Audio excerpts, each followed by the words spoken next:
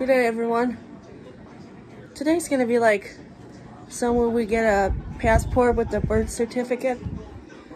I would this uh get a recurrence for it where we get our I would consider this of our replace for to get a new passport photo on my frame.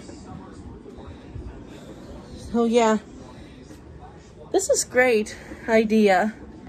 And they will have some from with our having a signature. And I went to Zoom meeting with Miss Emily.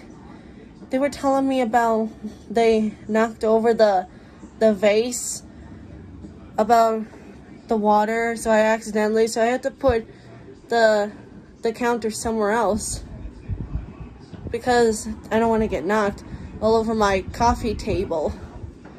So that's it. It's a nice day.